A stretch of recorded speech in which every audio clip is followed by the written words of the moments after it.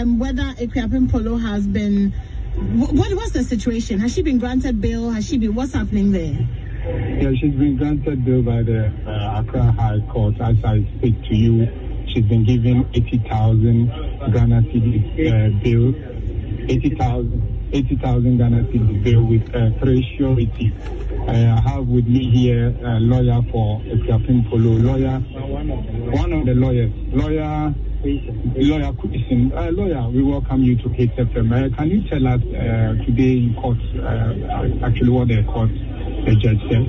Okay, it, it was very brief. Uh, the court had indicated that uh, it is very difficult for somebody who has been convicted already to be given bail pending appeal, but in exceptional circumstances, as espoused by Taylor J uh, she set out four conditions, and out of the four conditions, uh, we indicated one that is the time period being short to the extent that if the convict is allowed to remain remain in custody by the time the appeal is over, the 90 days would have lapsed already.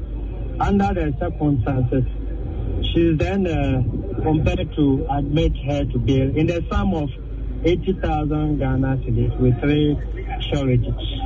And that she's supposed to deposit her passport.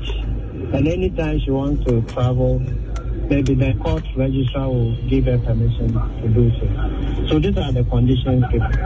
In the sum of 80,000 with three sureties. Right. Well, thank you um, for that information. So you had it here on Hitz 103.9 FM Poloo